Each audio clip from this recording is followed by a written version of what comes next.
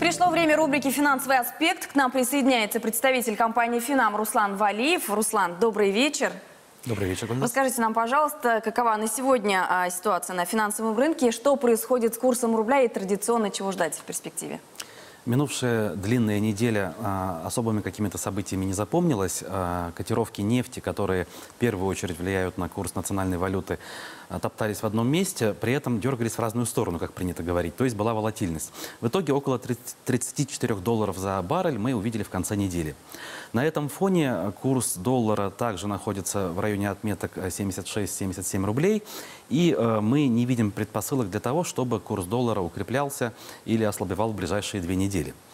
А, однако э, за последние 10 дней э, интересный приз преподнесло золото. Оно подросло процентов на 15 ввиду того, что в мире произошли, скажем, некоторые изменения. Фондовый рынок США прежде всего показал некоторое снижение, и инвесторам стало интересно перекладываться из рискованных активов в более надежный, каковым часто является золото.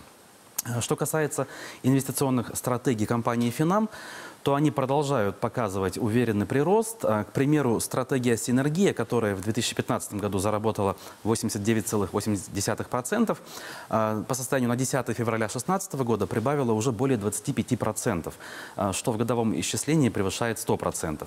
Поэтому даже на безрыбье, как говорится, можно найти очень интересные варианты инвестирования, которые не только надежны, но и прибыльны. Ну, расскажите нам, как можно более подробно узнать об этом.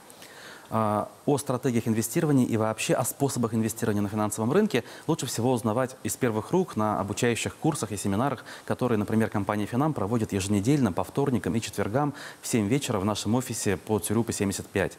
А, справки можно наводить по телефону 216 11 22. Как правило, первичные семинары очень интересны. А, они проходят в такой занимательной и динамичной форме, ничего не стоят. И после этих мероприятий для себя можно увидеть не только, что в мире происходит, но и для себя выбрать что-то такое перспективное и, самое главное, надежное.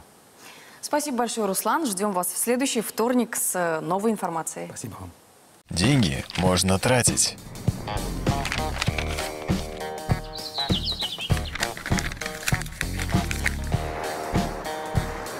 Можно копить. А еще их можно приумножать при росте и падении курса валют.